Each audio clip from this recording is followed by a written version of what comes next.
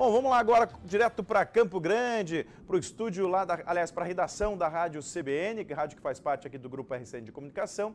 Fala, Ingrid, tudo bem? Bom dia. Bom dia, Rude, tudo sim com você. Graças a Deus, tudo bem. Depois de uma semaninha de folga, estou de volta, renovado e firme e forte, né? Acredito que você também está na mesma vibe que eu, né?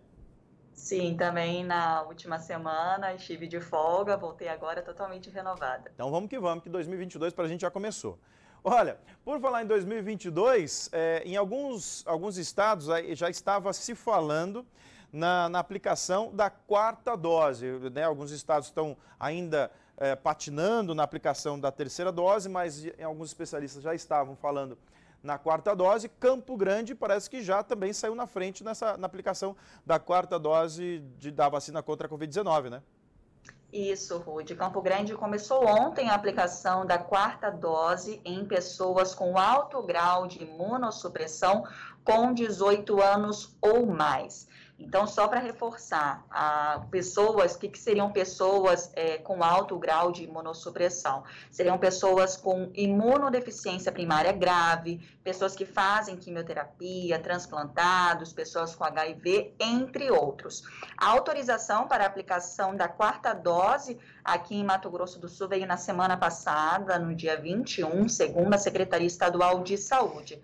Inclusive, a Secretaria de disse que o Estado foi pioneiro no Brasil em conseguir a liberação da quarta dose, pois as pessoas que estão aí podendo tomar a quarta dose são pessoas que tomaram a terceira dose há pelo menos quatro meses. Então, aqui em Mato Grosso do Sul, a aplicação da terceira dose começou em agosto e agora, quatro meses depois, pode aplicar a quarta dose em pessoas com alto grau de imunossupressão.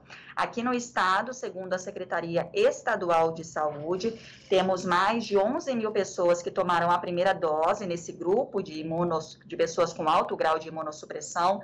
Temos mais de 10 mil pessoas que tomaram a segunda dose e pouco mais de mil pessoas que tomaram a terceira dose.